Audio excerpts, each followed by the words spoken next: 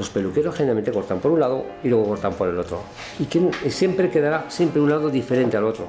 Mm, aunque sea muy poquito. O sea, la única forma que queden exactamente igual con una precisión matemática es cortarlos los dos a la vez. ¿Y cómo se puede hacer eso?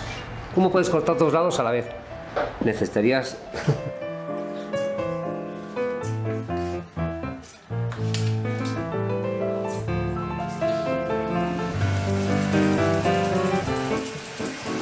uso, uso herramientas prácticamente primitivas, fuego, espadas, poco más que medievales, o sea que no. Pero quiero decir que cualquier cosa con un poquito de imaginación. A veces hay que poner un poquito de imaginación y que sean los resultados positivos.